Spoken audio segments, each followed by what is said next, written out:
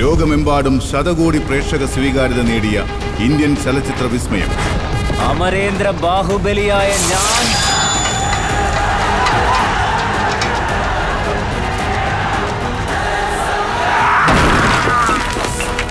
നീ എന്തിനാണ് ബാഹുബലിയെ തലയിലേറ്റുന്നത് അവളെ അങ്ങ് കൊന്നുകളഞ്ഞാലോ വിസ്മയ വിഖ്യാത ചലച്ചിത്രം ബാഹുബലി ടു.